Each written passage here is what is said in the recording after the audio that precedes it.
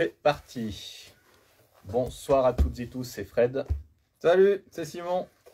On est un petit peu en retard, de Ah. 2-3 minutes. Veuillez nous excuser, mais on a eu encore beaucoup de travail à terminer. Donc on priorise un certain truc, mais on va, ça va bien se passer. Ouais, oui, ça va bien se passer. Hello, hello Flavien. Voilà. Évidemment, je laisserai Simon lire parce que bon, ben voilà, moi comme je suis une personne âgée, euh, je ne reconnais pas les petites lettres. Ça vous donne un premier aperçu de l'ambiance des vidéos qui vont être sur YouTube. Euh, bienvenue, bienvenue. T'as spoilé. Ouais. On va laisser un petit peu tout le monde. euh, On va laisser tout le monde un petit peu a d'autres arriver. retardataires. Voilà. Vous pouvez, vous pouvez déjà deviner le gros bébé du patron, hein, juste, juste là. Voilà. On va juste laisser subtilement le, le Voilà. dos comme ça. Moi, je les ai un peu plus cachés, les miens. Voilà. Et moi, il y en a beaucoup. Je lis plus que le patron. Salut, salut. Benoît. Salut, prof et Bonsoir. geek. Bonsoir. Ah, vous aimez bien quand il y a le patron, hein Ah, vous êtes content. Attention, je suis en train d'y prendre goût, hein. je pensais pas revenir si vite. hein. Attention, maintenant il est en train, il va se lancer sur solo sur YouTube, vous allez pas comprendre. Il va avoir un OnlyFans et un Twitch. Ah, on va pas comprendre. Bon bah allez, allez on va commencer. Il y a du monde qui est arrivé donc euh, euh, on, y va. Voilà, on va commencer. Alors, on, on va commencer par la plus. Entre Allez. guillemets, la petite euh, mauvaise nouvelle. Allez, on va commencer par le pessimisme. et Voilà, après- et puis comme ça, euh, on continuera avec le bon. Euh, voilà, je vais pas vous le cacher. Pour ceux qui nous connaissent depuis longtemps, j'ai toujours eu un lien assez fort avec, avec vous en tant que client. Beaucoup de clients sont devenus des amis. des employés. Ouais, bah, c'était déjà la première bêtise que j'ai dû faire, celle-là. Euh, et puis j'ai toujours eu euh, beaucoup de sincérité. Euh, bon, habituellement, c'est plutôt, c'est plutôt pas avec des vidéos, mais avec, avec du texte. Et j'ai voilà, toujours eu de sincérité, j'ai jamais rien caché avec mes clients. Donc là, je vais pas, on va pas se mentir.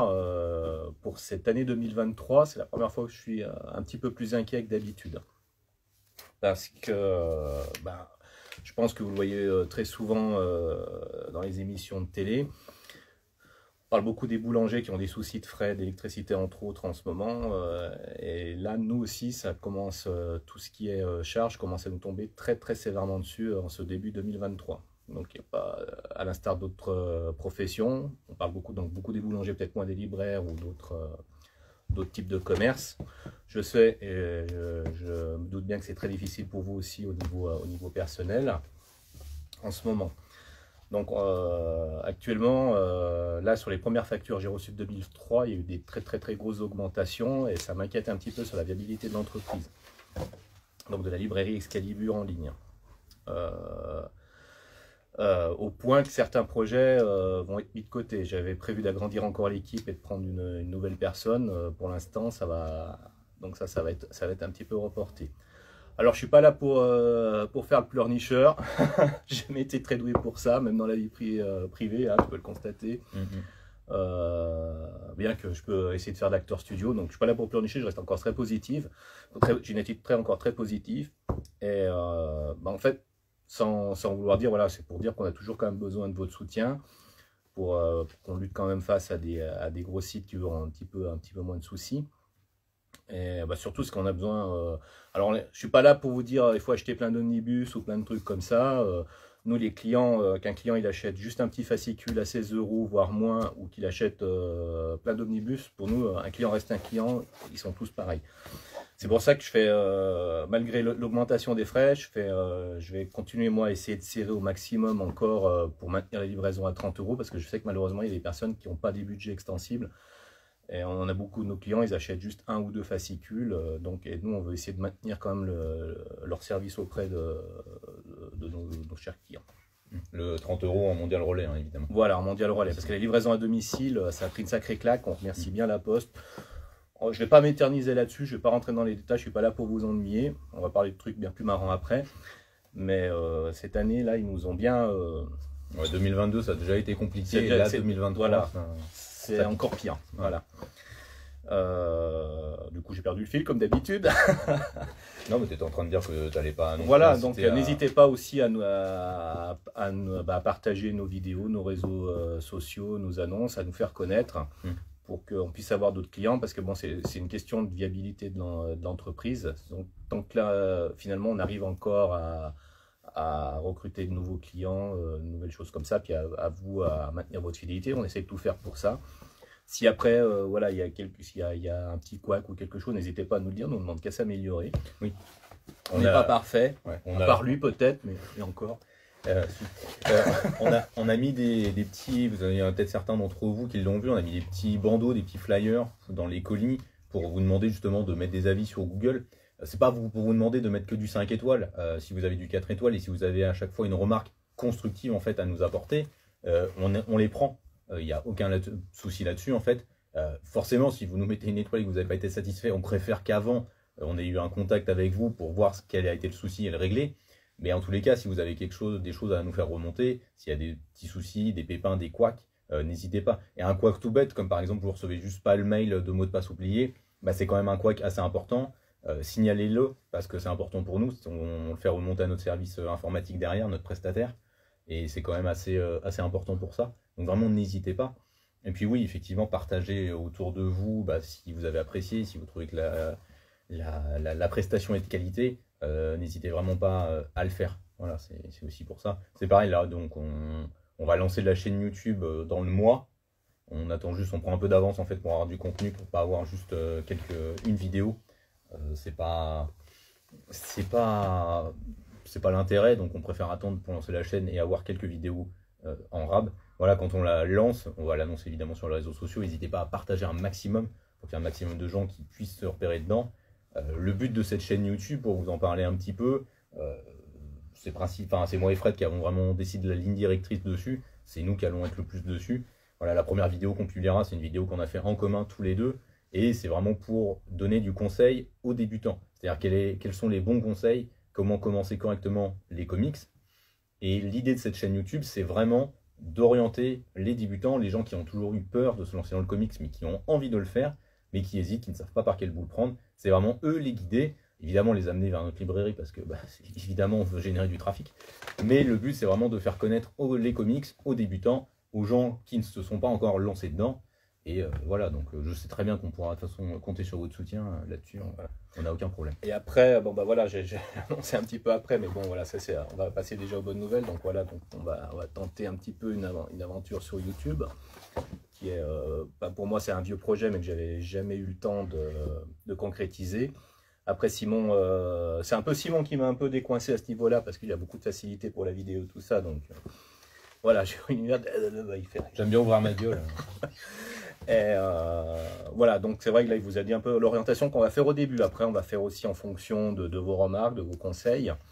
De, on va pas vous dire, euh, on va faire que comme si, on va faire tant de vidéos. euh, on s'interdit rien, on verra. On va aller d'abord, euh, on va faire la méthode Excalibur. On va faire par étapes et puis après, on avance. En fonction des envies. Voilà, de, de l'impulsion du moment. Mm. Donc voilà, on espère vous y retrouver très prochainement. Normalement, le lancement est incessant. Oui, c'est incessamment. Incessamment sous peu prochainement, comme qui dirait. Voilà, c'est Ouais. ça. Faut juste que le patron il arrive à tourner sa vidéo, c'est tout. Voilà, c'est c'est pas facile, hein, donc un peu d'indulgence, euh, je débute, j'ai un, petit peu moins de mal avec le direct, le direct me plaît bien, Ouais. mais euh, parler seul face caméra, j'ai encore un petit peu de mal. mais bon. Après, c'est comme vous regardez les, les vidéos des, des- de certains youtubeurs d'il y a 10 ans, euh, quand ils ont commencé, bon, ça n'a pas été... euh, Mais de toute façon, je, je- je suis sûr que vous serez indulgent euh, envers moi-même. Avec lui, n'hésitez pas, vous pouvez, vous pouvez y aller. Merci le soutien.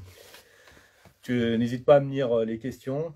J'ai t'inquiète j'ai pas. un peu du mal à lire parce que sinon, Ouais. après, euh, vous allez avoir mon visage qui va zoomer vers le. Ouais, ça va être moche. Ça va pas être terrible On a, du tout. on a le hardcover déjà qui dit euh, dans les conseils ne pas commencer avec DC Marvel. Et bah écoute, tu verras sur la première vidéo qu'on lancera sur les, les conseils qu'on donne justement aux gens. On est plutôt du genre à dire euh, ne vous interdisez rien. Mais bon. on va Ouais, bah voilà, ah, il a du mal, hein, il a du mal à se retenir ce soir. Bon allez, parle-nous euh, Fred, parle-nous. Ah, c'est de moi qui commence. Bah oui. Bon, on va le faire en plusieurs étapes parce Ouais. que euh, il y, a- il y a beaucoup à dire. Gros morceau là. C'est le genre de choses où je suis un petit peu intarissable. Le bébé que t'attendais depuis tant, depuis tant Voilà, d'années. parce que je l'espérais l'avoir sous le sapin. Regardez cette belle collection de, d'entre vous. de, mar- de marques. Et malheureusement, enfin malheureusement, il arrive, c'est déjà le principal, il est arrivé après les fêtes. Euh, parce que comme je vous l'ai dit dans, le précédent direct, euh, en plus d'être passionné de comics, je suis passionné de cinéma et particulièrement aussi de films fantastiques et d'horreur. Donc, avoir un truc comme ça, Marvel spécial horreur, pouvait que. il fait un petit recadrage, voilà. Ça ne pouvait, de toute façon, je vais l'approcher, mm. ne pouvait que me satisfaire. Qu'est-ce que ça contient? Donc, il y a plusieurs choses dedans. C'est un petit peu tout mélangé parce que la série que je trouve particulièrement bien, celle surtout que j'attendais euh, qu'elle soit publiée sur n'importe quelle forme, parce que je tiens à préciser, je ne vous parle pas de ça parce que c'est un omnibus, hein. ça serait sorti en intégral ou, dans une autre collection, je n'en aurais pas pareil. C'est, euh, c'est vraiment le, le contenu. C'est la fameuse série Tales of the Zombie, qui a déjà été publié très très très partiellement en France. J'ai pris quelques exemplaires que je vous montrerai. Je vais peut-être un petit peu zoomer parce que la dernière fois, vous voyez, je, continue d'apprendre. On m'a dit qu'on voyait pas très bien ce que je vous montrais. Donc euh, voilà, j'essaie de cadrer au mieux. Euh, qu'est-ce que c'est comme série? Euh, Pour faire un historique rapide, dans les années 70, il y a une maison d'édition qui fonctionnait très bien, qui s'appelait les Éditions Warren, qui publiait ce qu'on appelle les creepy, les re, etc qui sont euh, actuellement republiés chez un éditeur indépendant qui s'appelle Delirium, qui fait de très très belles éditions. Je vous recommande d'aller voir aussi sur, euh, sur le site.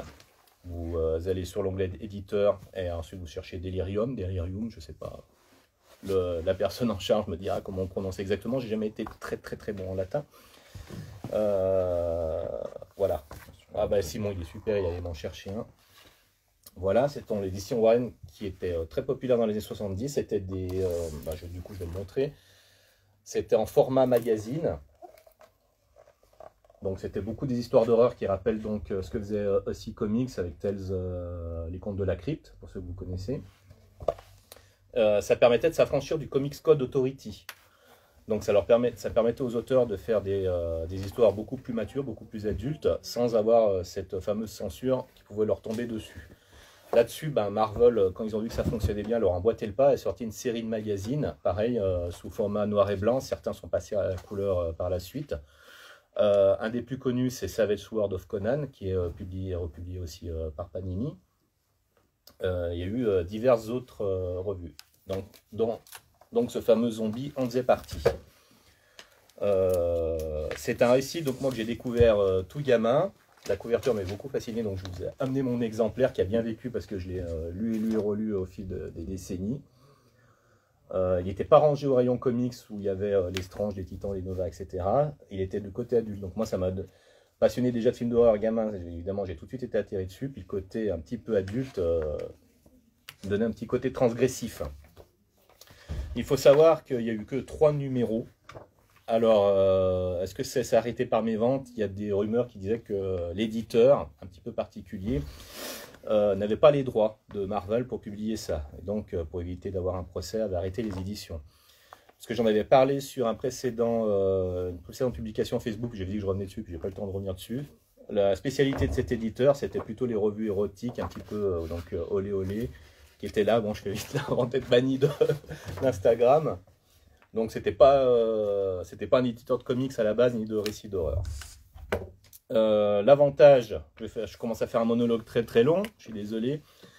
Euh, ce qui est super bien dans cette série, Tales of the Zombie, c'est qu'on revient vraiment au sens zombie du terme, pas le mort-vivant où le terme zombie est employé dans tous les films, c'est-à-dire dans le sens qui est axé sur la religion vaudou, et euh, avec euh, la métaphore sur euh, évidemment l'esclavagisme, où là, le, finalement, le zombie n'est pas net de lui-même, il, y a toujours quelqu'un qui le contrôle, ce qui est l'essence même du zombie à la base.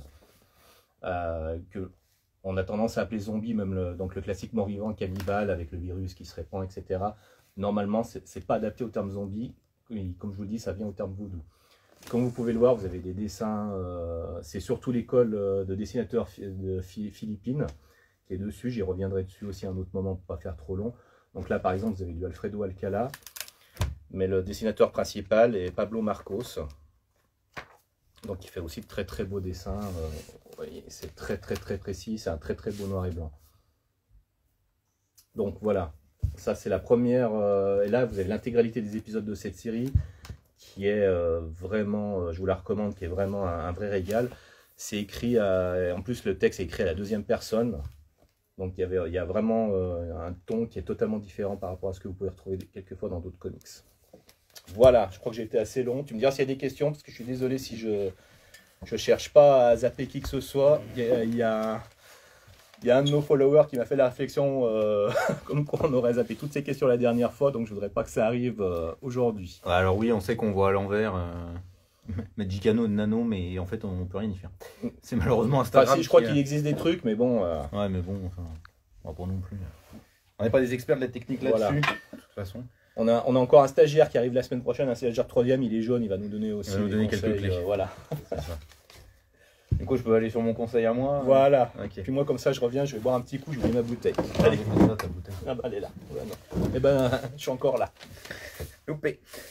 Du coup, euh, moi je vais vous parler de trucs récents.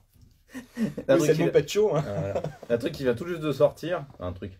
Donc Dark Crisis on Infinite Earth, la nouvelle crise euh, DC Comics, qui sera donc complète en deux tomes parce que Urban Comics a fait le choix de publier non seulement euh, les épisodes euh, de Dark Crisis, mais aussi tous les épisodes périphériques, euh, notamment dans la série Flash, et puis des numéros spéciaux en lien avec la disparition de la Justice League, qui est un peu la base de cette Dark Crisis. Euh, si vous n'avez pas lu Crisis on Infinite Earth ou Infinite Frontier, c'est un, c'est un, un drame, j'ai envie de dire, parce que ce sont deux, euh, deux, grands, deux grands récits, deux très très bons récits, surtout Crisis on Infinite Earth, qui est vraiment euh, indispensable à lire.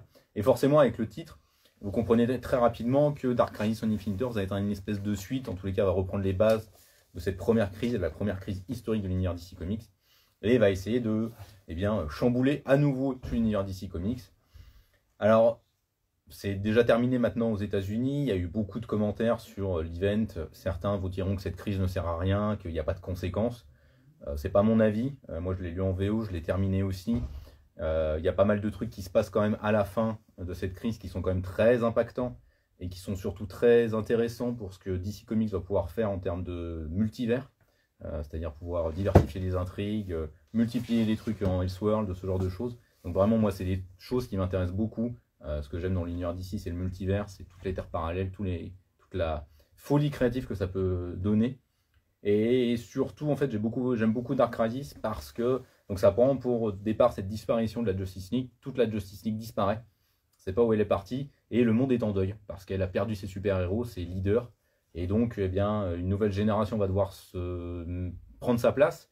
Mais comment est-ce qu'on fait pour prendre la place de héros aussi importants que la Justice League? C'est toute la question que pose euh, cette Dark Crisis. Et c'est vraiment hyper intéressant. Je trouve qu'il y a une belle métaphore sur euh, comment gérer un trauma, comment gérer un deuil après la disparition de personnes aussi importantes, d'icônes, j'ai envie de dire. Et puis, euh, y a, je ne vais pas spoiler, donc j'insisterai pas dessus, mais il y a aussi un autre double discours derrière, avec le retour d'un personnage que vous avez vu à la fin de Infinite Frontier, si vous l'avez euh, l'aviez acheté. Donc euh, voilà, si vous avez aimé, Infinite Frontier, vraiment je vous conseille de partir sur Dark Crisis parce que c'est clairement la suite. Infinite Frontier, c'est ce qui a vraiment lancé la nouvelle ère euh, DC Infinite chez DC Comics, donc qui a été publié en janvier de l'année dernière si je ne me trompe pas. Et vraiment, si vous avez donc aimé ce récit, que vous voulez avoir la suite, c'est à mon avis indispensable de lire Dark Crisis. Alors on me demande en commentaire, euh, Théo, tu me demandes si DC Infinite Frontier est indispensable pour lire Dark Crisis. À mon avis, oui, parce qu'en en fait, il pose toutes les bases de ce qui va arriver dans la Dark Crisis. Donc euh, oui, c'est quand même assez indispensable de lire Infinite Frontier, ne serait-ce que pour saisir certains éléments, notamment des personnages secondaires, parce que donc Joshua Williamson, qui est le scénariste à l'œuvre sur cette série, aime beaucoup réutiliser les personnages du Silver Age, donc de l'ancien temps, j'ai envie de dire, de DC Comics, des années 60.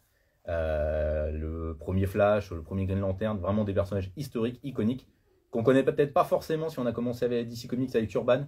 C'est un peu un, des trucs qui est dommage chez euh, Urban, c'est qu'il ne publie pas forcément beaucoup des, euh, des, des- des vieilles, des vieux, des vieilles histoires de DC Comics, donc ça c'est un peu dommage. Mais là, avec Joshua Williamson, ça nous permet justement de découvrir tout ce, toute cette ère, tous ces personnages qui sont super importants et que moi j'adore parce que bah, c'est l'héritage, c'est la lumière, c'est tout ce que j'aime chez DC Comics. C'est pas le côté sombre qu'on peut vendre, qu'on veut vendre si souvent. C'est au contraire très lumineux. Et là, Dark Crisis, c'est justement ça. C'est comment on trouve la lumière alors qu'on est euh, les ténèbres, on n'arrête pas de nous envahir et euh, veulent à tout prix nous faire sombrer. Euh, je trouve que c'est très parlant à l'époque dans laquelle on est, avec cette ambiance très très sombre dans laquelle on est aujourd'hui. Vraiment, je trouve que ça fait des beaux parallèles avec le monde réel. Donc, c'est vraiment vraiment une très très bonne crise, je trouve, pour ce qu'elle raconte en termes de métaphores.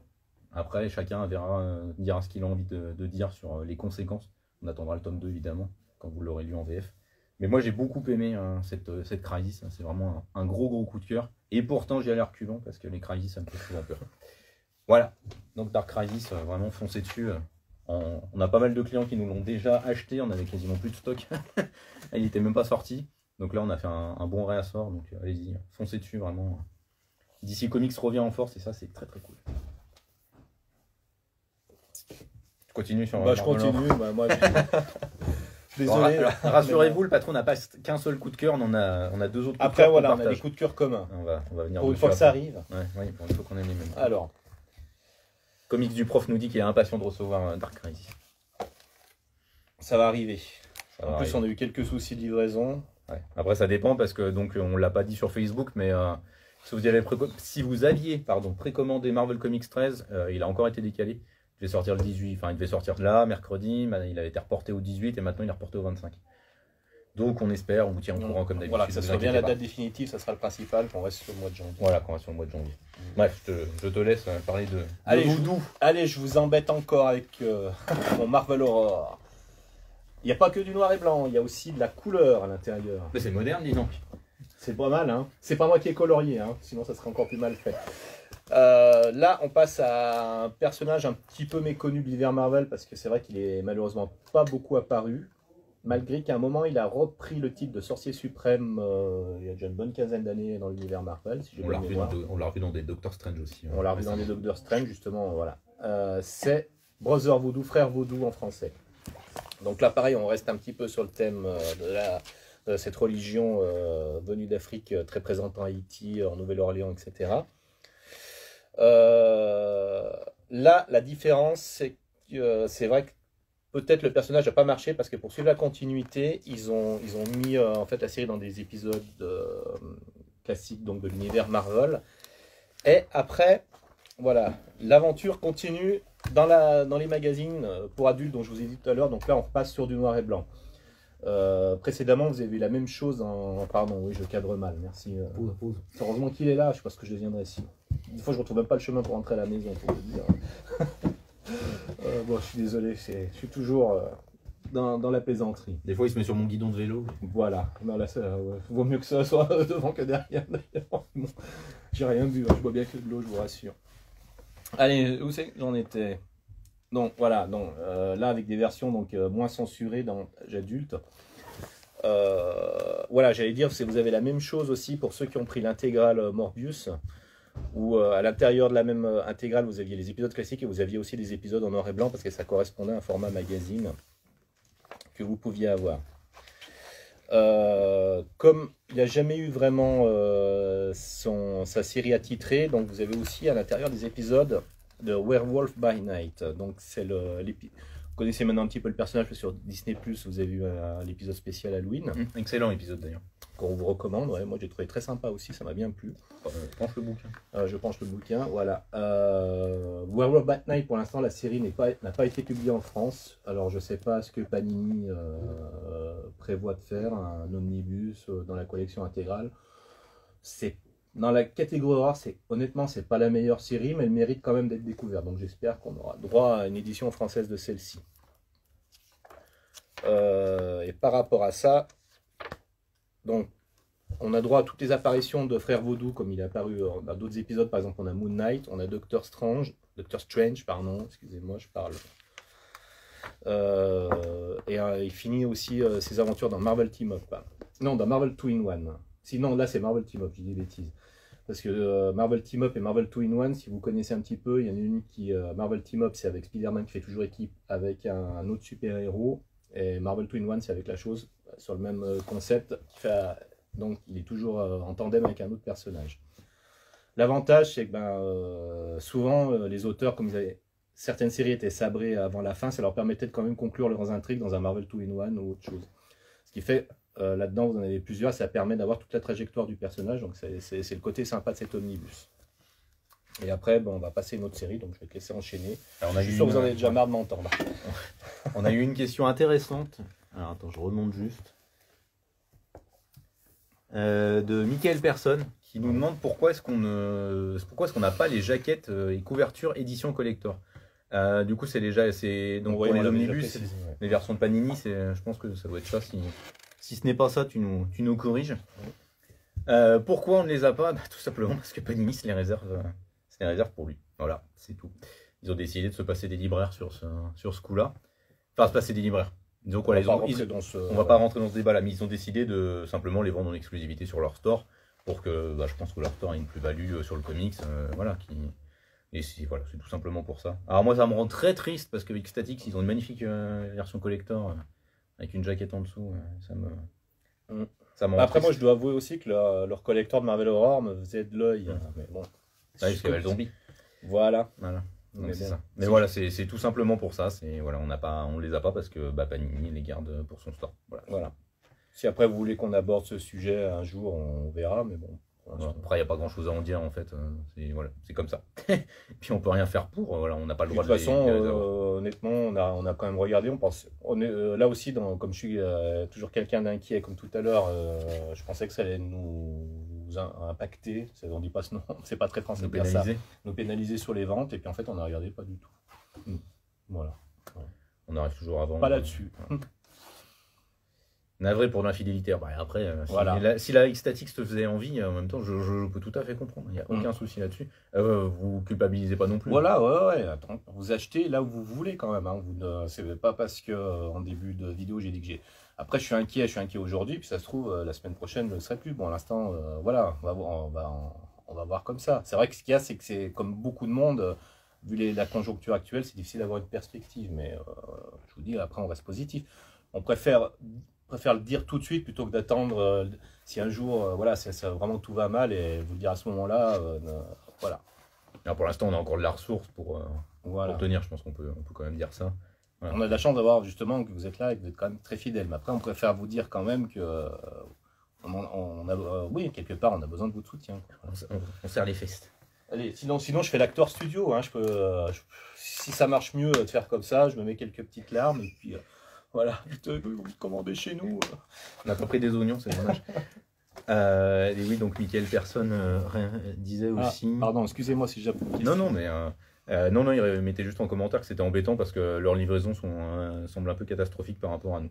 Ça, je sais pas. on- on- Alors, on- non, on n'a pas eu de. Si, on a eu un client qui nous a fait un retour, mais euh, voilà, pas plus. Oui, euh. bon, ouais. Après, on, on cherche pas. Après, non ça arrive à, après, ça arrive à la- les aléas de la livraison. Voilà, on peut jeter la pierre à personne parce qu'on ne sait pas.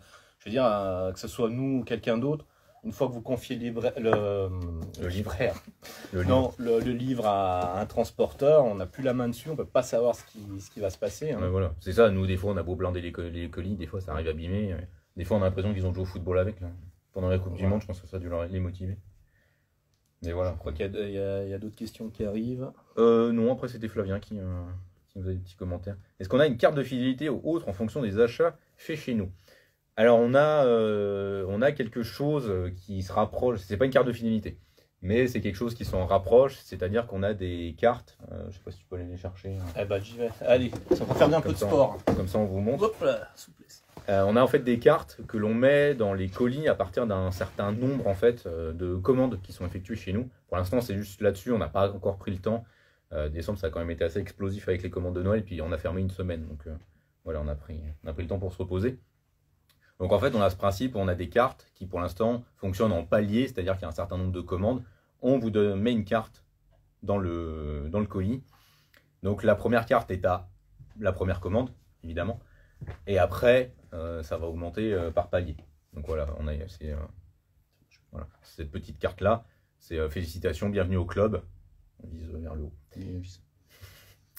Et la deuxième carte est obtenue à partir de 25 commandes. Pour l'instant, voilà, c'est comme ça. On réfléchit à savoir, à partir d'un certain montant de commandes, euh, omnibus, par exemple, c'est votre premier omnibus, on vous donne une carte. Mais c'est des choses qu'on réfléchit, et comme le contexte est un peu compliqué, euh, voilà, c'est vrai que c'est un, peu, un peu difficile là-dessus. Donc, c'est pas vraiment une carte de fidélité, euh, mais c'est pour vous remercier de votre fidélité, et quand on est à 25 commandes, à partir de 25 commandes de la deuxième carte, donc généralement on essaie de mettre un petit goodies parmi ce qui nous reste, notamment dans les primes que les éditeurs nous envoient. Euh, soit un petit fascicule par exemple, voilà, une petite bricole en fait, mais simplement pour vous remercier euh, de, la, euh, euh, de la fidélité. Alors si tu ne l'as pas reçu, On a oublié. Astarian, c'est qu'on a oublié parce que le, logistiquement, le protocole n'est pas toujours très bien mis en place. Et en plus, ça fait pas, ça fait pas un an en fait, que c'est mis en place. Donc ça se trouve, si tu as passé ta première commande il y a plusieurs mois, eh ben, c'est peut-être normal que tu l'aies pas reçu. Euh, donc ce que tu peux faire, c'est nous envoyer tout simplement un message, soit en message privé sur Instagram là directement, soit voilà autrement par mail, le formulaire de contact. Hein. Tu nous donnes tes coordonnées, tu nous dis que tu nous as vu sur le live Insta, tu nous mets ton pseudo, et puis comme ça on te met, on te met les cartes. Voilà. Comme qui dirait, on trouve un arrangement. C'est ça. Pour l'instant, voilà, c'est ça le système qu'on a. Voilà, je vous dis, on réfléchit à les multiplier pour pas seulement être sur la commande, mais voilà, si vous achetez votre premier omnibus, par exemple, et eh ben, une carte collectionneur d'omnibus, euh, d'absolute, euh, d'omnibus, euh, voilà, on verra. Si vous faites un run complet, par exemple, et eh ben, on peut vous la mettre. On réfléchit. On a toujours plein de pistes, mais il faut qu'on exécute. Et puis n'hésitez pas à nous contacter, de toute façon, pour quoi que ce soit. C'est toujours de, faire au mieux pour vous satisfaire, dans la mesure du possible. C'est ça, voilà. De toute façon, c'est pas, pas un souci là-dessus. Euh, je passe à mon deuxième euh, coup de ah cœur. ouais, on enchaîne. Alors, deuxième coup de cœur, je reste chez DC Comics. Promis, c'est la dernière fois que j'en parle. Après, je change. Euh, Batman, Superman, World's Finest. renaissance un peu de la série iconique du Silver Age qui voyait, qui voyait Batman et Superman s'associer ensemble. Et on répond à ta question tout juste après Manu la Tortue. Ah oui, bah c'est lui, je crois qu'on a qu'on a zappé Je suis désolé. on ne te zappera pas cette fois, ne t'inquiète pas. Je termine juste sur Batman Superman et puis après on répond à ta question. Euh, Batman Superman, donc World's Finest, écrit par Mark Wade, dessiné par Dan Mora. Dan Mora, le tueur, j'ai envie, envie, de dire. Et euh, merci Jolie Nico, sympa. Euh, donc World's Finest qui voit donc Batman Superman s'associer, le tout dans une ambiance qui rappelle vachement les comics des années Silver Age. Donc très cool, une ambiance assez pas enfantine mais fun. Vraiment orienté sur du fun pur et dur. Ça se vanne. Vraiment, les caractères de Superman et de Batman sont assez poussés aux extrêmes. Superman est très lumineux, très jovial. Batman est très grognon. Donc ça marche super bien. Et en plus, il y a la présence de Dick Grayson, Robin, qui permet de faire le tampon entre les deux. Donc c'est assez marrant. Ça marche super bien. Faut pas s'attendre à des gros enjeux. Ça, c'est le truc euh, que j'ai envie de dire tout de suite en préambule. Parce que, comme les comics du Silver Age, eh bien, c'est surtout fait pour vivre une aventure très sympa, très fun, immédiatement fun, et fait euh, bourré de bourré d'action, bourré d'humour, et juste voilà, c'est très très sympa euh, à suivre. Et c'est vraiment euh, très très cool. Donc, je le disais, c'est Dan Mora au dessin. Je vais réussir à revoir le bouquin. Et enfin, c'est voilà, c'est juste un tueur. Dan Mora, il défonce niveau des planches. Je vais éviter de vous mettre une planche avec du spoil parce que sinon c'est pas cool. Enfin là, par exemple, cette planche, on voit Dick Grayson en action ça défonce. Enfin voilà, il y a plein de trucs. Euh, c'est vraiment très très beau. Je trouve qu'il dessine vraiment super bien les personnages. C'est de la grosse action, c'est Mark Wade. C'est pas forcément subtil, mais c'est pas ce qu'on a envie de lire quand on prend ça. Voilà, j'ai envie de dire que on n'est pas là pour ça. Par contre, j'en profite pour. Je, pense, euh, pardon, t'interrompre, ce sera certainement la prochaine lecture. Ah bah écoute, voilà, très bien, parfait. Et j'en profite juste pour en glisser une Batman Superman.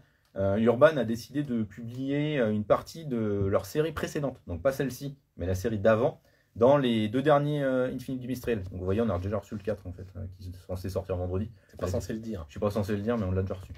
Hum, hum, hum, donc Batman Superman de, qui est dessiné par Ivan Rice. Et dans cette, dans cette histoire de Batman Superman, on a une mise en case qui rappelle les bobines de cinéma. En fait, ils sont plongés dans des aventures parallèles et pendant les six épisodes que ça va durer, ou même peut-être plus, je ne me souviens plus exactement, on va les suivre en fait dans des aventures parallèles qui vont se croiser à certains moments. Notamment, forcément j'ai oublié, j'ai sauté la case, la page. Voilà, par exemple, on va avoir des croisements qui sont comme ça, vous voyez, la bobine, euh, les bobines s'entremêlent. Et donc en fait, on va avoir des croisements entre les Batman et Superman qui chacun dans leur univers, qui là encore rappellent ceux du Silver Age. Donc vraiment très très sympa, très fun. Euh, j'ai envie de dire, s'il y a une bonne raison pour en continuer d'acheter les Batman Infinity Israel et acheter ces deux-là, c'est le Batman Superman parce que il y a peu d'auteurs, je trouve, à l'heure actuelle qui écrivent aussi bien Superman que Gene Luen Yang. Il avait notamment dessiné, enfin, il avait écrit, pardon, Superman écrase le clan qui était paru en DC Kids. Et c'était juste la meilleure lecture Superman que j'ai eue euh, ces dernières années, donc vraiment en très très bien. Et donc on me demande si c'est aussi fun que Nightwing Infinite dans le plaisir de lecture.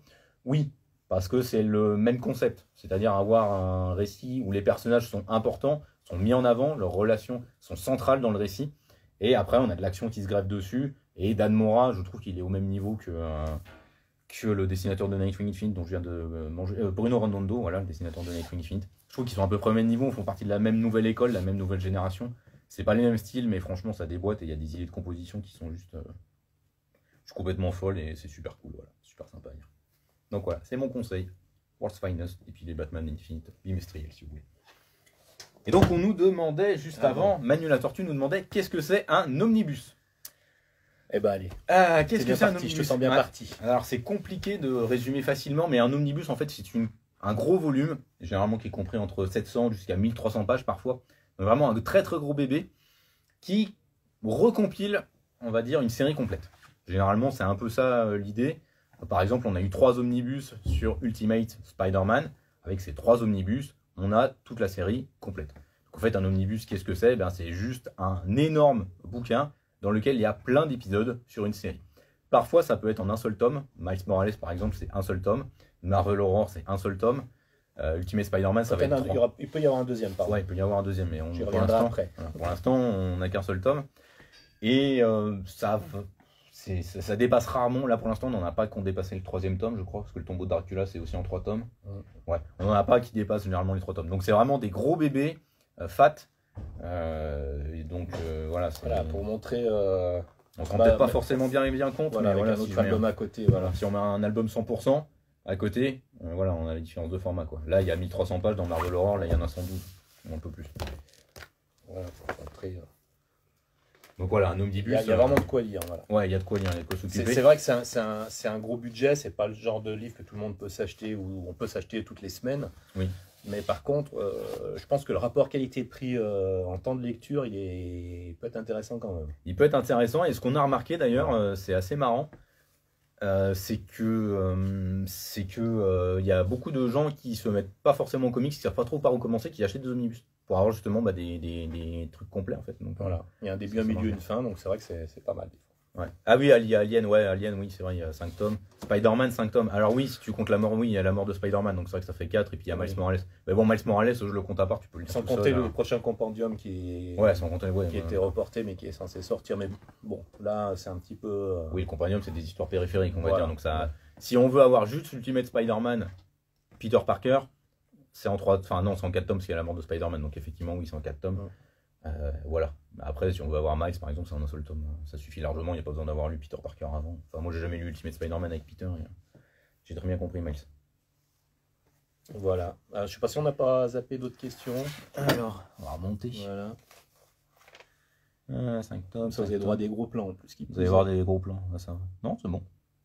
Non, Non, non, je crois que c'est bon. Ah bah N'hésitez ouais, pas si on, zappe, si on zappe vos Ouais, questions, euh, vous, nous la, vous la remettez. hein.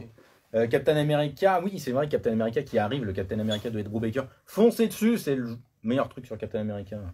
Ah ouais, ouais. Ouais, je suis oui. d'accord aussi. Ouais, ouais, c'est Ouais. le meilleur truc sur Captain. America, c'est là où il y a Winter Soldier, donc Bucky qui revient. Ouais, il, a, il a amené énormément de nouvelles idées. ouais. ambiance espionnage, film noir, bon, c'est Ed Brubaker quoi. Donc, euh. Mais euh, j'aime beaucoup celui aussi euh, qui est en omnibus, le, le Mark Wade et le Ron Garnet aussi, qui était un bon run. quand même. Moi je l'ai pas lu. Après, entre-temps, il y a eu euh, Heroes Reborn. Bon là, j'y reviendrai dessus, mais bon, c'est pas, pas obligatoirement pour dire du bien. hein. Allez, je continue. Termine avec ton Marvel. Ah ouais, bon alors on n'a pas prêt de terminer. hein. Ouais, ouais. Là maintenant, on passe euh, à- après.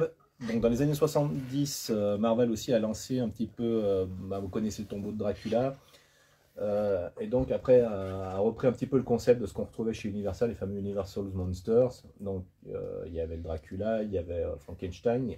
La série Frankenstein n'est pas dedans, peut-être pareil, on l'aura peut-être dans un autre omnibus ou dans une intégrale. Et il y avait aussi une série qui a été relativement de courte durée qui s'appelle donc The Living Mummy, la momie vivante en français. Là aussi, comme vous avez pu le voir, les dessins sont assez sympas. Alors, pareil, je vais être honnête avec vous, c'est pas la série ultra transcendante, mais qui reste très très sympa à lire si vous êtes fan, comme moi, un petit peu de, des, Universal Monsters, de cette euh, bonne période Universal où on produisait des, très très bonnes séries B de qualité. Euh, et là, pareil, donc la série s'est interrompue et euh, bah, la momie fait équipe aussi avec, euh, avec la chose. Donc ça se conclut une fois de plus dans un Marvel Two in One. Donc vous avez la trajectoire complète du personnage.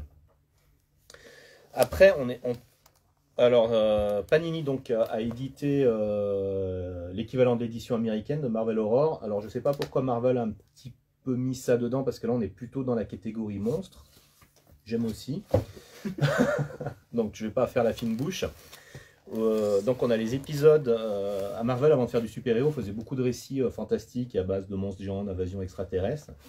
Donc, on retrouve un épisode de Kirby pré-période Fantastic Four, si j'ai bonne mémoire avec un monstre géant qui s'appelle le Colosse. Pareil, qui est contrôlé évidemment par des extraterrestres une nouvelle fois. Et cette série a été reprise dans, dans les années 70. Tout simplement parce que c'était la période où les, euh, la version euh, Kaiju, donc les Godzilla, les Gamera, etc., commençaient à avoir beaucoup de popularité. Puis il y avait le, King- le remake de King Kong qui, était, euh, qui a été fait dans les années 70. Donc Marvel a, a ressorti un petit peu ces monstres géants euh, qui s'affrontent. Euh, là, c'est la série qui a été très très courte durée, 3-4 épisodes, euh, où elle affronte aussi une autre créature de Marvel qu'on connaît un petit peu, Fin Fang Foom. Fing Fang Foom. Euh, où- Ouais. Pareil, ça reste un personnage pas très très connu de Marvel. Il y a un moment, il y a Thor dans. euh, Ouais, Walter. Simonson l'a fait un petit peu affronter, enfin une version de Fang Foom, je ne vais pas spoiler. Ouais. Et euh, euh, on retrouve aussi dans une grande saga euh, d'Iron Man qui n'a pas été republiée encore euh, par Panini. Ça arrivera à un, un moment ou un autre dans les intégrales. Donc là, on retrouve le côté fun euh, des, des combats de monstres. Et là, pareil, bah, comme le, le personnage n'a pas eu euh, beaucoup de popularité, ça c'est. Il y a une conclusion dans, euh, dans la série Incredible Hulk. Par contre, ça brille un petit peu maintenant. c'est vrai que là, la nuit est tombée, donc il y a les néons. Voilà. Là, c'est dessiné, c'est un épisode mineur par contre euh, de l'incroyable Hulk, dessiné par Carmine Infantino, qui est, euh, enfin, c'est un dessinateur qui est très reconnu, qui a, qui a fait beaucoup de bonnes choses DC, mais à titre personnel, dont je n'ai jamais été fan. On y reviendra si ça vous intéresse à un autre moment. On a une question intéressante de, de Benoît Martins Oui. Bonsoir Benoît. euh, qui nous demande euh, si c'est un choix délibéré de notre part de ne pas proposer les catalogues de certains éditeurs. Je pense notamment à Glénat. Et il a aussi l'impression que sur 404 et Black River, on propose pas tout. Alors Glénat, en fait Glénat c'est particulier parce que le problème c'est qu'avant il y avait le catalogue Glénat Comics. Donc forcément on fonçait dessus et on avait en fait le listing qui nous était donné euh, tous les mois. Aujourd'hui c'est plus le cas. C'est un peu ça le problème et c'est beaucoup plus compliqué pour suivre les comics chez Glénat. Euh, J'avais présenté un titre de chez Glénat par exemple qui est un comics, c'est Adventure Man qui est proposé dans un gigantesque format. Euh, et en fait c'est compliqué. Là j'ai vu par exemple qu'il y avait un comics qui sortait chez Glénat demain de Ed Brubaker, euh, donc Friday, qui est la série qu'il a fait avec Marcos Martin. Et bah ça j'étais pas au courant en fait. L'un des soucis qu'on a c'est que pour se tenir Bah, au courant après, on va dire la vérité, euh, l'équipe commerciale de Glénat euh, nous contacte pas toujours. euh, Oui. voilà. C'est un petit, en fait, on a, les, alors on a de très bonnes relations avec les librairies Glénat en tant que confrères et consoeurs, qui sont vraiment euh, une super équipe. Mm. C'est un petit peu plus compliqué avec l'équipe commerciale qui est située à Paris. Bon, euh, éventuellement, jette une, une fois une bouteille à la mer. S'il y en a un qui veut nous Si contacter vous êtes là, pour qu'on puisse mieux travailler, il n'y a pas de souci. Voilà. Donc c'est pas un choix, on va dire délibéré, mais je dirais qui est plus ou moins imposé. C'est ça. Et après, il y a un autre souci aussi, c'est que le catalogue Lena Comics, déjà, si on vendait trois titres, c'était déjà un miracle. Ça n'a jamais été un gros succès, chez nous, euh, non. voilà, chez nous. Après, euh, par exemple, toi, Benoît, si tu as envie de commande- nous commander des trucs de chez Glénat, s'il y a des trucs de chez Glénat qui t'intéressent, tu peux nous contacter. On peut, on peut voir ce qu'on peut faire après derrière. Il n'y a pas de, je pense qu'il y a pas de souci. On fait des commandes spéciales, il n'y a pas de souci, parce que des- comme euh, je crois que je l'ai dit aussi dans la précédente vidéo, on a des clients qui nous commandent des mangas, donc on les met Mm. pas spécialement sur le site, mais après ils les ont euh, dans leur m'arrive. Ah, il, est, hein, il aime bien. Je en forme, C'est dur de garder des surprises avec lui. Euh, et juste euh, donc pour le catalogue 404. Alors catalogue 404, euh, c- normalement on essaie de se tenir à jour. Ouais. Euh, on a peut-être juste là, il y a une sortie qui va arriver chez eux, 404 Comics, euh, qui s'appelle Big Under. On n'a pas fait l'affiche sur le site, mais après hein, on va les commander, on les aura euh, un peu après la réception parce que c'est un peu compliqué chez, euh, chez Bah. 404. euh. Voilà, après, pour, pour vous expliquer, en fait, euh, si vous connaissez un petit peu comment fonctionne l'édition, c'est que nous, comme on est spécialisé en comics, chaque éditeur, en fait, travaille avec des diffuseurs particuliers. Et donc, voilà, comme on fait comme du, que le catalogue comics, on est un petit peu limité sur certains, certains éditeurs. Par exemple, Delcourt, Panini, Aquileos, je crois que c'est ça, non, Aquileos, a changé, non, c'est ça. Bon, on va dire, ils ont, ils ont le même diffuseur. Donc, Oui. c'est- très facile de, donc, de travailler. On fait une commande de gros, hop.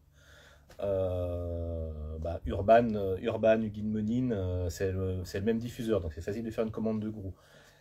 404 Comics, c'est leur diffuseur. Je crois que c'est leur, ça doit être quasiment leur seul plus ou moins catalogue. Il y a deux, trois petites bricoles à côté. Il y a Mana Books. Hmm. Ils distribuent Mana Books. C'est pas hmm. des titres, on a beaucoup de volume. Bah, après, ça rejoint un petit peu. Voilà, Black River, ça rejoint un petit peu ce que je vous ai dit tout à l'heure. Après, pour, euh, pour optimiser les frais de livraison et diverses choses, euh, euh, comme on a, c'est pas là où on a le plus gros volume, on est obligé un petit, c'est un petit peu plus espacé au niveau de nous pour avoir les livraisons. Mm. Parce que, voilà, après, je rentre pas dans le détail, mais les, livraisons, il y a aussi, je crois que j'en ai un petit peu quand même parlé la dernière fois, il y a un coefficient pétrole qui nous est appliqué. Donc, plus le cours du pétrole est élevé, voilà, par exemple, à vous dire on va vous dire, au lieu que la livraison vous coûte 100 euros, euh, il vous rajoute encore un pourcentage. Bah, le coefficient pétrole, c'est 20%, donc la livraison vous revient à 120 euros au lieu de 100 euros, etc. Voilà, et c'est tellement aléatoire en ce moment. Euh, le cours du pétrole peut baisser. Dans ce cas-là, bah, la même livraison avec le même poids, le même nombre de colis nous reviendra moins cher et la semaine euh, suivante nous reviendra bien plus cher. Donc, Ça fait partie un petit peu des soucis. Je m'en arrache les cheveux tous les jours. Ouais, c'est un peu les aléas. Ça se voit. Et euh, Black River, normalement, c'est pareil. Alors, Black River, c'est pareil, quoi. C'est pas un éditeur sur lequel on tourne énormément. Donc, c'est un petit peu, c'est un petit peu dommage, en fait, euh, parce que, bah, en, fait, pour être honnête, si on a un éditeur sur lequel on tourne pas beaucoup, bah, on va pas être incité forcément à commander beaucoup, de titres de cet éditeur-là. Surtout que Black River, ils font essentiellement de l'adaptation de jeux vidéo. Pas que, ils ont publié un titre de Garcenis, par exemple, A Walk Through Hell, qui est vachement sympa, qui est en deux tomes si on aime bien l'horreur. Mais à côté de ça, ils font beaucoup d'adaptations de jeux vidéo et en fait, on n'a pas ce public-là. Ce public-là, c'est un public généralement de grande surface, euh, comme Manabooks par exemple, qui fait beaucoup ça. Voilà, donc c'est pas. C'est pas. C'est difficile en fait. C'est pour ça qu'on bah, on va pas être réactif sur Black River parce que bah, ça se vend pas énormément. Donc on, ça va pas nous inciter en fait à être réactif dessus. 404, on est plus réactif parce qu'on sait qu'il y a de la demande. Il y, a, des titres qu'on vend quand même très très bien. Il y a des titres qu'on vend très très bien. Willy, on le vend très très bien. Everything, on l'a très bien vendu. Euh, Zombie World, euh, on l'a super bien vendu. Mais ça met parfois un peu de temps à arriver parce qu'en plus, 404 Comics, ils ont aussi une branche euh, dans laquelle ils publient des comics, c'est 404 graphiques. Et donc, il faut qu'on aille un peu plus fouiller en détail parce que c'est pas catégorisé en comics, c'est catégorisé en BD, donc c'est un peu compliqué des fois. Donc, il faut que Fred fouille un peu le catalogue. Euh, et puis après, moi, je me, je me, tiens au courant parce que je les suis sur les réseaux sociaux, mais c'est parfois un peu compliqué. Il faut qu'on fasse, faut qu'on fasse moins de vidéos. Voilà. il faut qu'on fasse moins de colis, mais non. non, non. Euh, on a une autre question euh, de Spoon, Spoon Braze, Spoon BZ H. Je sais pas comment, comment prononcer ton pseudo, désolé. Euh, petite question, j'ai reçu l'omnibus Onslaught pour Noël. Il y a un intérêt de se procurer les intégrales X-Men et ceux de 96 pour avoir toute la saga? Non, parce qu'avec Onslaught, tu as toute la saga déjà. Donc, tu n'as pas, de, pas de problématique. Euh, peut-être à la limite, si tu veux vraiment avoir les préludes de Onslaught, il y en a peut-être une qui est intéressante dans le lot, mais. Euh, c'est pas dans l'intégrale, sinon il y a le Marvel Horror Collection où il y a le. Il y a un prélude Ah non, non tu parles de ça y est. C'est le patron, il est perdu. Non, non, tu parles de, Apocalypse. Mais tu, en fait, euh, il y a une intégrale, je crois, c'est une de 96, mais je me souviens plus laquelle, désolé, j'ai plus en tête où il y a des prologues à Onslaught. Le problème, c'est que si tu l'achètes, tu vas avoir des doublons avec Onslaught, donc euh, c'est un peu dommage. Donc là, non, vas-y pas. Euh, si tu as Onslaught, euh, c'est bon, tu as, toute la saga. Il n'y a pas de souci après. Par contre, si tu veux continuer, si tu veux avoir la suite et les conséquences, il faut que tu te diriges sur l'intégrale X-Men 1996-1997, qui est sorti il n'y a pas si longtemps que ça, qui elle gère les conséquences de Onslaught sur les X-Men directement. Parce qu'il y a quand même eu des grosses conséquences sur eux, avec Charles Xavier, avec plein de personnages. Voilà, donc là-dessus, si ça s'intéresse vraiment de suivre les conséquences de Onslaught, ouais, et c'est assez intéressant en plus. Hein, hein. Moi, je les ai lus justement parce que j'avais lu l'omnibus, ça m'avait bien plu, ça m'avait intrigué. Et donc, euh, vraiment pas mal. On a 16 Comics aussi qui nous demandent si les frais de 1,55€ par commande vont augmenter cette année ou pas. Pour l'instant, euh, je fais tout pour maintenir. Donc, ah, euh, aujourd'hui, non. Après, il y a des, il peut y avoir des, comme je vous l'ai expliqué la dernière fois, il peut y avoir des frais de port spécifiques sur, sur certains titres où euh, il n'y a pas la possibilité de faire ce geste commercial des frais de port refaire, ou euh, d'autres qui ont besoin de comment dire d'une manipulation spécifique, comme on dit, des fois on fait un double cartonnage, euh, double bullage. donc là, oui, il y a, mais sinon sur le standard, ça ne devrait pas, pas bouger pour le moment. Pour l'instant, on essaie de maintenir, voilà, on essaie De, faire en sorte que ça ne bouge pas. Voilà, ceux-là, ils avaient été mis parce que si vous vous souvenez, bon, je, je vous parlais des augmentations de cette année, mais l'année dernière, enfin 2021, Euh, si vous vous souvenez, euh, il y avait toutes ces histoires de pénurie qui, euh, qui ont déjà fait beaucoup d'augmentation. euh, C'était bah, sur, sur tout ce qui est fourniture, papier bulle, calage, carton, où ça avait pris, je crois que ça avait pris 30% aussi. Ouais, ça va être très très, cher. On a, Ouais. Mais on- là, on a un- En fait, on anticipe plus. Donc, on, on fait Voilà. un peu plus de, de commandes et puis on anticipe plus, du coup. Donc, voilà. On a une autre question de, The Occitania qui dit qu'elle a très. il ou elle, je ne sais pas, je- Occitania. J'ai très envie de me lancer dans les omnibus. Le Marvel Horror me fait de l'œil. Il est content. Ah, je suis content. Euh, J'ai mais voilà. peur de ne pas apprécier la lecture. Quel est votre avis? Et par apprécier, je fais référence au confort de lecture vu le pavé. Alors, avant que tu embrayes, moi, mon conseil pour lire un omnibus, si tu es sur un canapé, tu mets tes jambes euh, croisées, tu te mets un coussin et tu mets le bouquin dessus. Ah bah, j'allais dire la même chose parce que je le lis aussi au lit. Mm. Et je fais pareil, soit je fais un petit euh, tédo- une sorte d'édredon avec, mes- avec la couette, mais je reste assis. Par Ouais. contre, oui, euh, lire euh, euh, appuyé euh, sur l'oreiller, c'est pas évident. Ça va te péter le poignet. Il faut être honnête, ça te pète le poignet, ça te pète les cuisses. Enfin, c'est c'est une, enfin, c'est pas, c'est c'est pas le truc confortable à lire. Mais donc, ouais, avec le Mm. coussin, généralement, ça se passe bien parce que tu le cales correctement sur le coussin et les roulures sont quand même solides. Donc là-dessus, il n'y a pas de souci. Surtout que Panini a l'intelligence parfois de mettre un papier un petit peu plus fin pour que ce soit moins épais et donc que la roulure travaille moins. Donc là-dessus, c'est plutôt, plutôt intéressant. Par contre, si je peux pas mettre un autre conseil, euh, il est avec jaquette. Moi, quand je le lis, j'enlève. euh, Ah oui, j'enlève la jaquette parce que sinon, là, vous êtes sûr que, que vous la flinguez. Anti-jaquet. Moi, je suis team anti-jaquet. C'est dit. Voilà. C'est posé, j'ai des convictions très fortes dans la vie. Alors c'est gentil, euh, 16 comics, c'est vrai que tu dis c'est pas grave si ça augmente. Effectivement, ça peut pas être on- grave on- pour on toi, mais de on penser pense... au plus grand nombre. Voilà, c'est ça, on essaie de penser au plus grand nombre, aux gens qui ont bah, des problèmes de, euh, de, de pouvoir d'achat tout simplement. Quoi. Donc on sait déjà que demander 1,55€, ça peut peut-être freiner euh, certaines personnes. Ouais, bah, Voilà, on a essayé d'expliquer pourquoi on avait fait cette augmentation-là, pourquoi on avait fait cette hausse. Euh, voilà, c'est euh, intéressant. Euh, Il y a Michael Person qui dit ce serait bien la carte de fidélité comme Mommy, mais on n'a pas le droit. Voilà. Avec la loi Lang, euh, on n'a pas le droit de faire 5% de réduction, Ouais. 5% de remise. euh, C'est interdit. Voilà. C'est les seuls qui peuvent se le permettre, euh, c'est euh, donc les librairies comme ça parce que c'est librairie physique. Et euh, si vous commandez sur internet, on n'a pas le droit de vous faire une remise. À la FNAC, vous avez le droit, par exemple, mais parce que vous êtes adhérent, donc vous avez un statut spécial. euh, Je crois que la carte est payante malgré tout. Et la carte est payante, voilà. Donc vous payez, en fait, Bien vous sûr. payez pour un bonus. Donc euh, on va pas vous demander de payer pour avoir un bonus de 5%, qui en fait euh, pas très intéressant fondamentalement. Euh, Auriez-vous un bon one shot de Superman à conseiller, All Star Superman Mhm. Ah, moi, j'aime bien Identité secrète aussi. hein. Alors ouais, voilà, on, on en a, allez, on en a deux.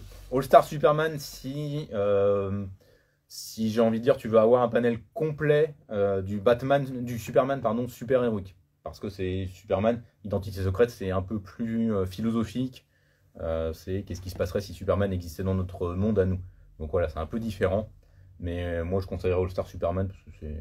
voilà. Après, après, je sais, là, je vais, je vais le faire rager parce que c'est un débat chez nous. quoi, je veux j'aime dire beaucoup- Red Son. J'aime bien Redson aussi, moi. Tiens.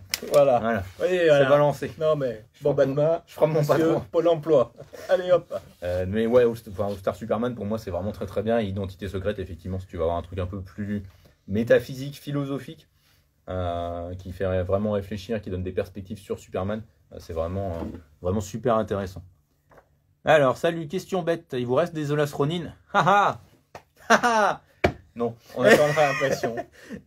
on attend la réimpression comme tout le monde, malheureusement. Et pourtant, on avait prévu le coup, on avait un paquet, hein, mais on pensait même pas, tout- pas, pas vendre tout ça. Alors ouais, non, on en avait parce que bon, on a fait une lithographie donc exclusive Mm.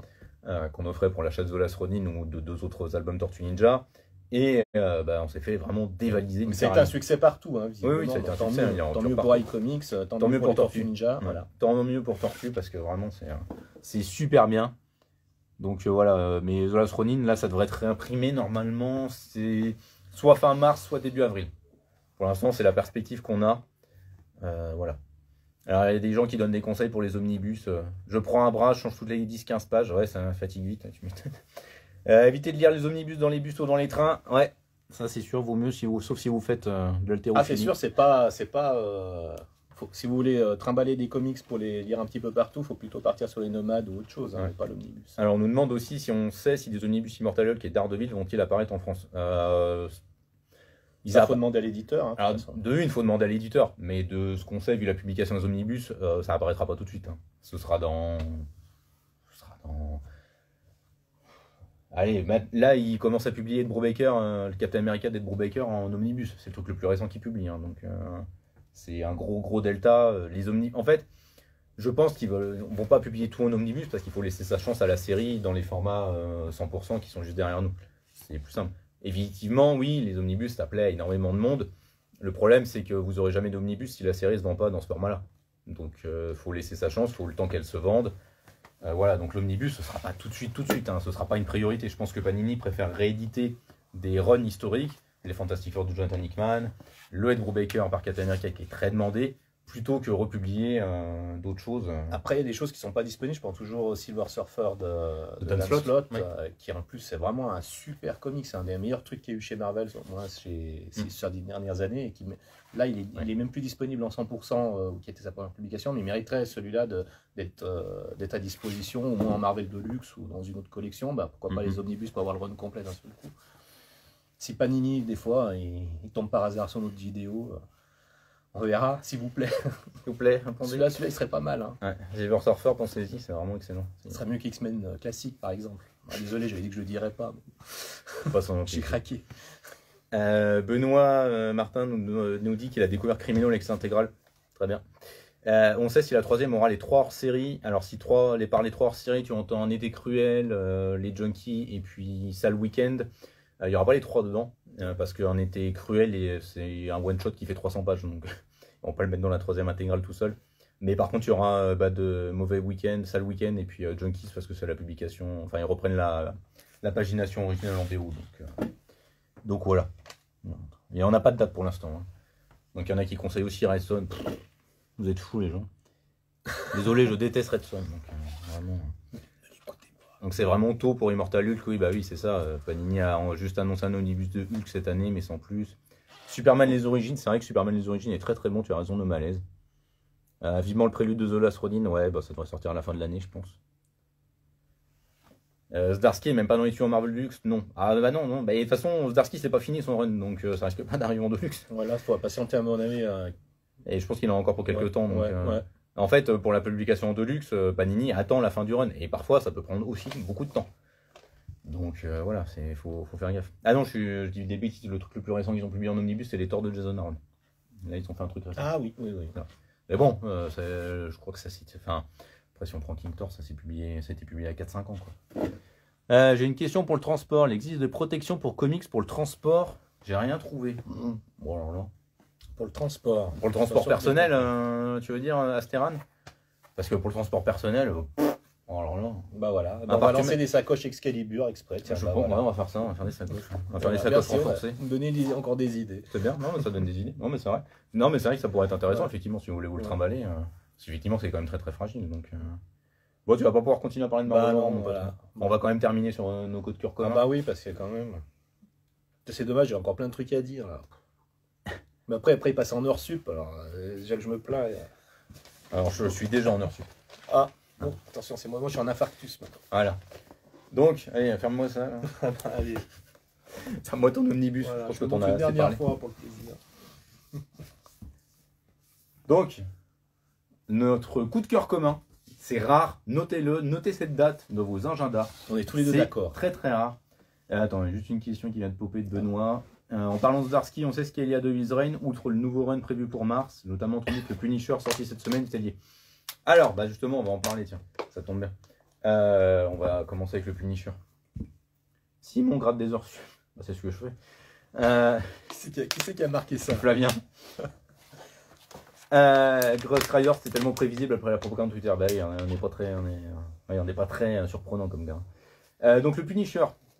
Alors pour parler des conséquences de David Rain sur Daredevil, effectivement, il y a le nouveau reload, il y aura le relaunch, mais encore en fait la suite avec le nouveau tome 1 qui doit arriver en mars ou en avril, je me souviens plus exactement.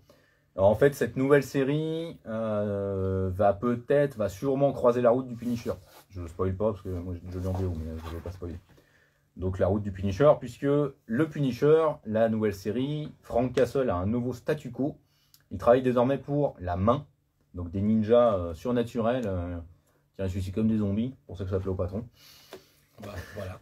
Et, euh, et c'est vachement bien.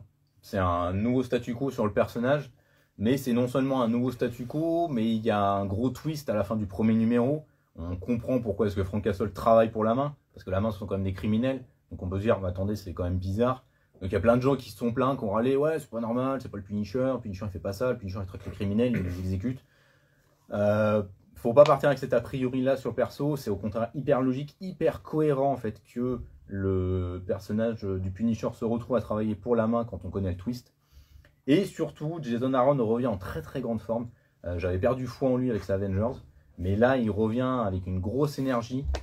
Il analyse vraiment très cliniquement qui est Frank Castle, qui est le personnage. Est-ce que c'est un psychopathe de base avant qu'il enfile le costume du Punisher Ou bien est-ce qu'il a d'autres traumas qui sont euh, à l'origine de ça, qui expliquent pourquoi il enfile le costume Parce que le Punisher, c'est un personnage un peu extrême. Euh, il assassine des criminels, faut le dire, faut dire les choses comme elles sont. Euh, et vraiment, enfin, c'est vraiment très très bien. Alors un appareil, ils sont pleins, oui, mais il n'y a que 4 numéros. Alors oui, mais c'est des numéros de 40 pages, donc ça fait 4 x 40, 160 pages. Donc c'est un beau bébé quand même, il est bien, il fait la taille d'un 100% un peu plus, un peu plus élevé. Et ce sera prévu en trois tomes. Donc c'est vraiment, mais vraiment très très bien. moi j'ai bien aimé aussi. Ouais. Après, si je peux me permettre d'ajouter, Ah bah oui, vas-y. il y a, ce, qui est, ce qui est intéressant, c'est qu'il amène euh, encore une nouvelle perspective. Enfin, il amène quelque chose de nouveau dans les origines du Punisher aussi, parce qu'il remonte dans dans le passé du Punisher. Je ne vous spoil pas, je vous laisse la surprise, mais finalement, ce c'est toujours intéressant quand un auteur amène des, des nouvelles idées sur un personnage qui a, qui a même été euh, très, euh, celui-ci très utilisé. Il y a eu beaucoup de séries sur le Punisher.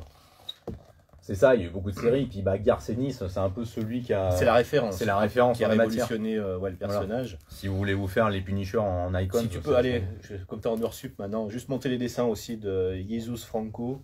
Non, c'est euh, Jesus, c'est- Jesus 16. Voilà. Je les ai un peu montrés. Donc en fait, il y, a deux, y a dessinateurs qui alternent très, très sur, bien. le, sur le tome.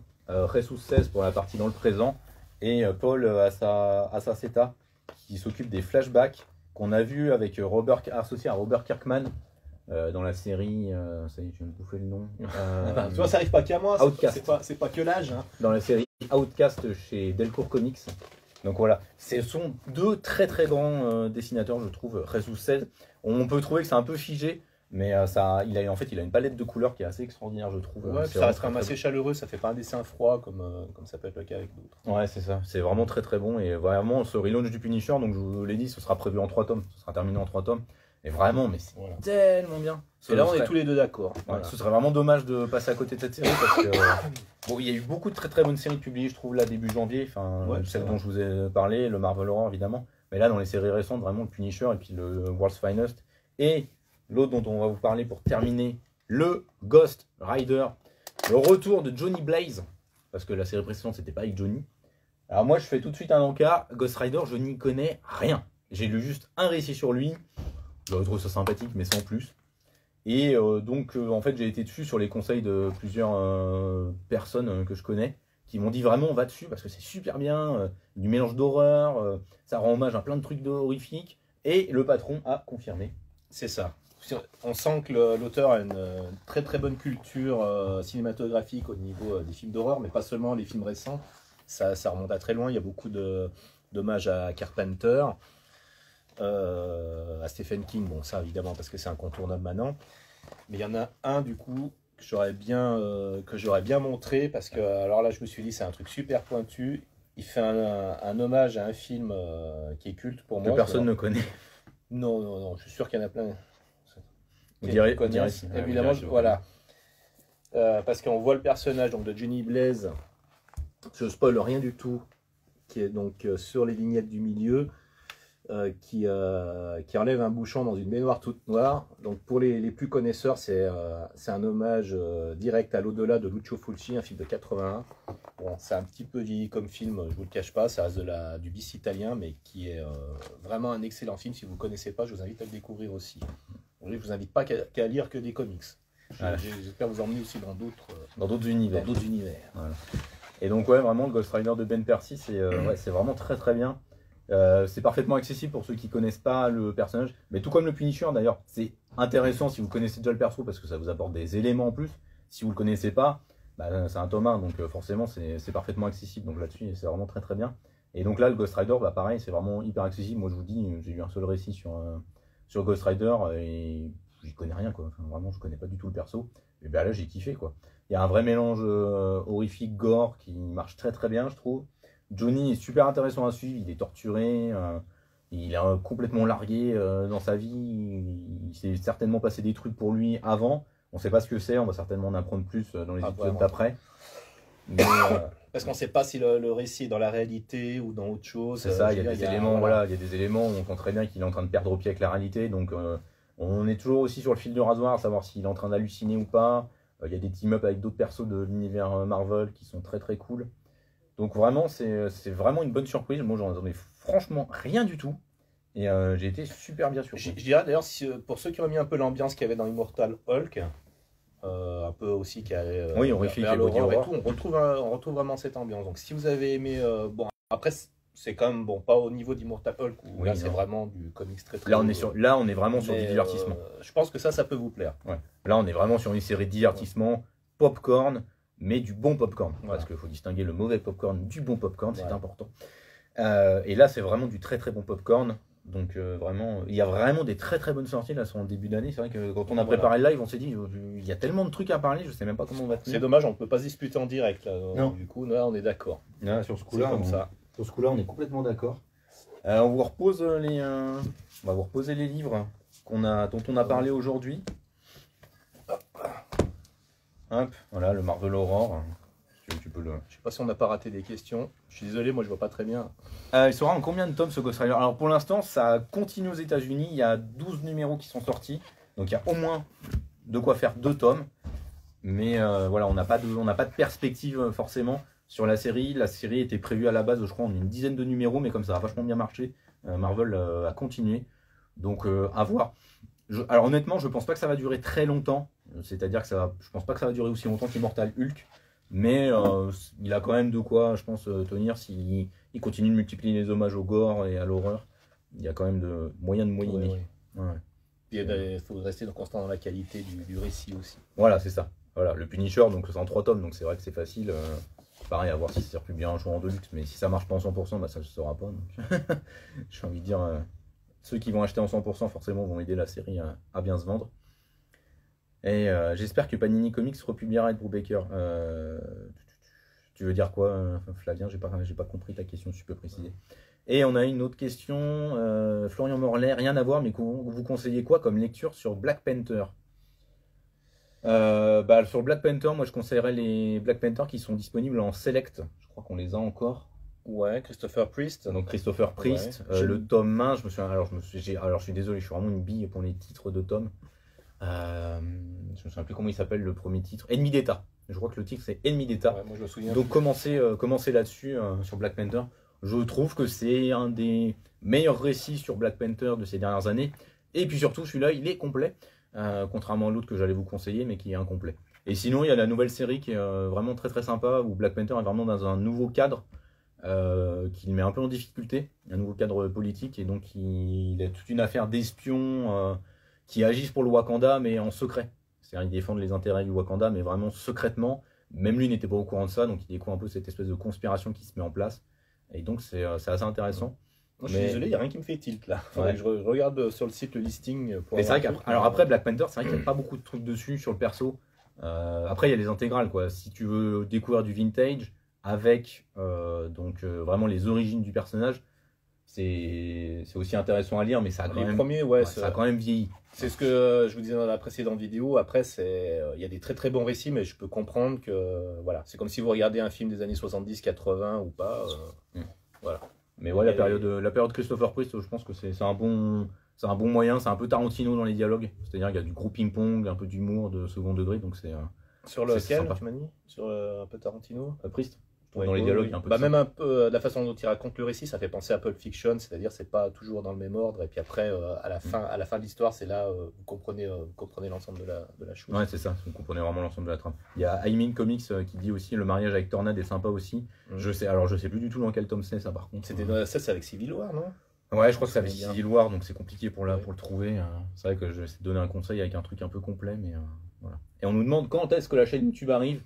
Très prochainement. On n'a pas de date pour l'instant. En vrai, elle est, en fait, elle est déjà ouverte, elle est déjà activée, mais euh, il n'y a pas de vidéo dessus, donc elle n'apparaît pas forcément si vous recherchez Excalibur Comics euh, sur euh, YouTube.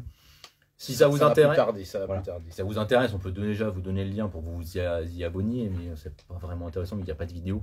C'est juste qu'en fait, pour l'instant, on a déjà des vidéos enregistrées, mais on prend un petit peu d'avance. euh, pour pas arriver et. euh, Voilà. Mais bon, comme on le fait aussi en dehors de, un petit peu en dehors de nos heures de travail, bon voilà, c'est. ça. Bah, surtout le montage en fait, c'est surtout le montage qu'on fait en Voilà. dehors des heures de travail. Ça prend un peu de temps. Moi, je, On je- aurait je voulu monte, avoir mais, déjà euh, deux, trois, quatre vidéos d'avance, mais Ouais. euh, pour l'instant, honnêtement, on en a fait que deux. Ouais. Bon, donc on verra. D'ici fin janvier, ça, de- ça devrait être bon. De Oui. toute façon, vous inquiétez pas, vous serez avertis, il n'y a aucun souci. Voilà. Si... Puis on espère que ça vous plaira, surtout. On, verra. Voilà. on débute, hein. C'est ça. Après, voilà, une fois que la chaîne est ouverte, n'hésitez vraiment pas. Euh, faites des commentaires, commentez, suggérez-nous des améliorations. Voilà. Euh, moi, je sais que j'ai déjà commencé, euh, j'ai demandé, pour ceux qui me suivent sur mon compte Twitter, euh, j'ai commencé à demander s'il y avait des guides en particulier que les gens voulaient, parce que ça va être aussi un des objectifs, c'est faire des guides de lecture. Voilà, on a Green Lantern et Flash qui sont beaucoup revenus. Et voilà, vraiment, n'hésitez pas. euh, si vous ne me suivez pas sur euh, Twitter, euh, vous tapez euh, Excalibur Boy, vous allez me trouver facilement Voilà. sur Twitter. De toute façon, le patron, il me retweet tout Après, de le toute temps. façon, donc, euh, no- notre envie, c'est surtout nous, nous faire partager la passion. C'est pas obligatoirement vous dire il faut acheter ci, il faut acheter Oui. ça. Moi, j'ai envie de vous parler aussi bah, des, des trucs avec les exemplaires que j'achetais quand j'étais gamin, ou enfin gamin. Je suis toujours un gamin, Euh, etc. Voilà. Bon. De toute façon, pour l'instant, on- voilà, on démarre tranquillement et après on verra comment comment ça va s'orienter. On- De toute façon, on s'interdit rien pour l'instant. Oui, on s'interdit rien. L'objectif, c'est vraiment d'aider euh, les gens à commencer dans le comics. Euh, on va peut-être faire d'autres trucs, genre des débats cinéma, parce qu'on enfin, on est très branché ciné avec Fred. Et donc, euh, si on voit un film de super-héros qu'on a envie d'en causer, on Et puis pareil, on verra comment, comment on va maintenir le rythme. hein. Pour l'instant, on sait pas. Voilà, on, va, on va pas vous dire euh, on va faire qu'une vidéo par jour, puis vous en faire 10, ou on, va- on va essayer d'en faire une par semaine, et puis il n'y en aura qu'une par mois. Voilà, on fera selon nos possibilités, puis la, la motivation, l'envie, etc. Oui. Après, voilà, les, On les, verra. voilà, les guides, moi, c'est quelque chose que j'aime bien faire. J'ai j'ai déjà plein d'idées, donc euh, ce sera pas vraiment un problème pour ça à faire. Et puis de toute façon, on n'a pas la prétention euh, de révolutionner YouTube. euh, voilà. C'est Ouais. histoire de maintenir encore voilà, un lien, un partage avec vous. C'est surtout ce plaisir-là de communiquer avec vous. Ça. Le, le prochain live aura peut-être lieu sur la chaîne YouTube, on verra. Ça dépend. Voilà. Bah, Dites-nous ce que vous en pensez d'ailleurs. Voilà, dites-nous ce que vous en pensez. On pense que ça peut attirer plus de monde parce que là, vous, vous êtes les abonnés Instagram. On se dit sur YouTube, ça peut peut-être donner accès aux abonnés Twitter, aux abonnés euh, TikTok, euh, par exemple. Parce qu'on est sur TikTok, Facebook, mais voilà, c'est Ouais. une possibilité. On, on, on se refuse rien, on envisage tout. Voilà. Ça sera vraiment à voir euh, en fonction des évolutions. Euh, dernière petite information, peut-être, euh, c'est les soldes de demain? Ah oui, c'est vrai. Bah, euh, Voilà. là, cette année, on va faire des soldes. Cette année, on va faire des soldes. voilà. On a besoin de, On a besoin de faire de la On a place. besoin de aussi. faire de la place, de déstocker un petit peu. Donc euh, à partir de demain, euh, il y a des soldes. Euh, en fait, le lien est déjà actif sur le site en vérité. Donc si vous voulez préparer Voilà. vos paniers, il n'y a pas les réductions activées. Mais... Ah bah non, ce sera à partir de minuit. hein. Voilà, à partir de minuit une, 11, donc voilà. là, on, on respecte le truc. On respecte le- Voilà, la date C'est normal. et l'heure. Mais voilà, si vous voulez vous faire plaisir, il n'y a pas de souci. Euh, bonne idée de pouvoir avoir un lien avec nos libraires comme ceux qui peuvent acheter des comics en réel. Bah oui, bah, c'est le but. hein. De toute façon, c'est vraiment. Fred a cette envie-là depuis euh, plusieurs années. Il essaie de maintenir le lien via Facebook, via Twitter, mais c'est jamais forcément pareil. Là, on peut avoir une interactivité en direct. Et donc, on se dit avec la chaîne YouTube, ça peut vraiment être très sympa. Puis avant, j'osais pas. Je, suis très timide. Voilà, maintenant, je l'ai décoincé, donc ça va mieux. Alors Après, après, mal euh, interpréter tout ça, attention. Euh, les soldes, vous attendez pas non plus à des trucs euh, fous furieux. Euh, dans le sens où les soldes, c'est très réglementé sur le livre. Donc, on va faire des remises sur des produits, euh, des, notamment des variantes par exemple, euh, des produits un peu collector, mais euh, on a des, quand même des limites. Et puis, faut Et puis les soldes marges. aussi sont réglementés. De toute façon, on Oui. ne peut pas faire de vente à perte. Et après, je pense que vous en avez déjà entendu parler. C'est pas dans la librairie où le commerçant a le plus de marge. hein. Voilà. On va pas faire des soldes sur des omnibus. hein. Voilà. Commencez pas. non plus. Et, et je dis pas ça pour pleurer, hein, quand ils ont même mes larmes et tout, euh, voilà, avec l'eau, voilà. Mais non, voilà. Donc euh, voilà, que, que retenir de cette vidéo? Bon bah, on- 2023 pour l'instant, on sait pas trop sur quel pied danser, Voilà. mais euh, on, on garde la pêche, on garde Voilà, la patate. on verra-. Bah, je pense que c'est comme beaucoup d'entre vous, hein, c'est Faut passer les livres en- à vue, rien, tout est imprévisible de toute façon depuis quelques temps. On a eu, Alors, faut euh, passer les livres en occasion. euh, Samuel Blachon nous dit alors, euh, ben, en fait, non. Parce que l'occasion, on peut pas être euh, au même tarif que Vinted. Bah, toujours pour ces histoires de marge. Hein. voilà, c'est juste une question de marge en fait. C'est que si on veut continuer à avoir, à avoir euh, bah, suffisamment enfin, d'argent en fait à la fin du mois pour pouvoir tenir la boutique, et on peut pas proposer des prix hyper attractifs sur l'occasion. Alors, on peut le faire parfois. euh, par Non, exemple, même, si je veux dire, si on fait une vente à zéro marge, c'est-à-dire que euh, sur, un, sur un livre, je le, je le revends à prix coûtant, voilà, ça fait, faut pas croire, ça va pas vous faire une énorme réduction. hein. Non, c'est ça, hein, vraiment. Enfin, voilà. La, la, grosse moyenne, euh, sur, sur certains, on n'a que 25%. Voilà, on va, on va vous dire la vérité. Et ça, ça va. La, grosse moyenne en fait du site, c'est- c'est 35%. Quoi. Sur certains, on a 37%. Mm. Mais euh, voilà, la grosse moyenne, c'est 30, 34-35% sur un livre. hein. C'est pas, euh, pas 50% ou 60% comme certains voudraient bien le croire. hein. Mhm. Voilà, allez, hop, une petite larme. Hop. Non, mais surtout avec les frais de livraison. qu'on- En fait, le principal frein aujourd'hui qu'on a sur la progression, c'est les frais de livraison qui sont vraiment, euh, vraiment Et devenus puis c'est surtout c'est ce coefficient, c'est tous ces coefficients aléatoires qui, qui nous sont appliqués. Si encore on savait que tel, tel poids, tel colis nous reviendrait à tant de prix, euh, finalement c'est facile à calculer. Mais là finalement le, le colis qu'on, les colis qu'on vous expédie euh, à la- à- au même poids, à la même dimension, euh, d'une semaine, enfin d'un mois à l'autre parce qu'ils appliquent mensuellement le- la variable. tarification ne, ne sera pas obligatoirement le même. Bon, allez, on va couper parce que DF, Ouais, on coupe bah. l'électricité. Bon voilà, allez. Puis en heure sup là. Ah, il commence à. Après, après je pourrais plus faire la livraison à 1,55€ à cause de lui on va passer à 5,99€. Pas déconner quand même. Bon, on espère quand même que ça vous a plu. Voilà, on espère que ce live vous a plu euh, une fois de, une fois de vous plus. pas hein. ennuyé. Surtout le patron avec son Marvel Horror. Voilà. Voilà, donc on espère qu'on vous a donné des envies de lecture, en tous les cas, des envies de découverte. N'hésitez pas, hein, vraiment, euh, à interagissez avec nous, c'est l'intérêt. Commentez, posez-nous des questions, il n'y a pas de... Il n'y a pas de souci, on est là pour y répondre, même des questions sur la vie du site, hein, tout simplement. C'est Voilà. vraiment, c'est vraiment pas un problème pour nous. Donc on le répète, hein, face à la question que Benoît posait sur les sorties Glénat, s'il y a un produit que vous avez envie d'avoir, qu'on n'a pas nous sur le site, euh, n'hésitez pas à nous envoyer un message, on voit ce qu'on peut faire. Euh, si c'est celui du Glénat par exemple, normalement euh, ça poserait pas de souci pour les avoir. Mais voilà, n'hésitez pas, hein, c'est- pas du tout un souci. Si on peut vous aider, au contraire, vraiment, il n'y a, y a aucun problème pour nous. Donc, eh bien, écoutez, euh, on espère que ça vous a plu. On vous souhaite une bonne soirée.